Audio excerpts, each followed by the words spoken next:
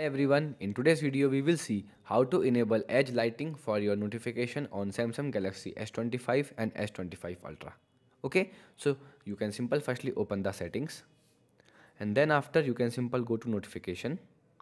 Okay, in notification you can simple click on notification pop-up style. Okay, and now here click on edge lighting style. Okay, so once you click here, so here is a basically two methods. Okay, two steps first one is to select the effect and second one is advanced settings.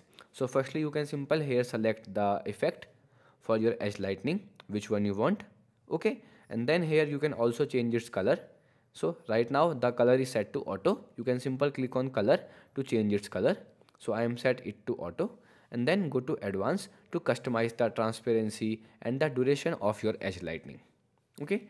So the step one you can simple firstly select the effect then if you want to change its color you can simple go to color okay? And then select the color. And then the in third step you can simple go to advanced.